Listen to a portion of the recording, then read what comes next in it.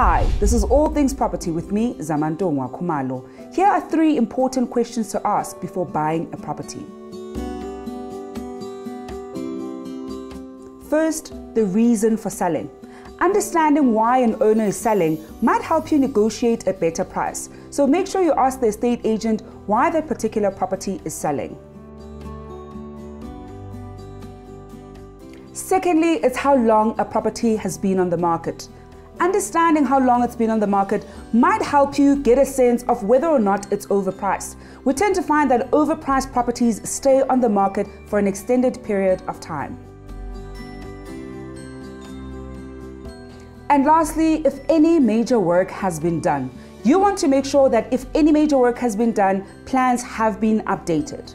For more tips and advice on all things property, go to our blog on www.builders.co.za.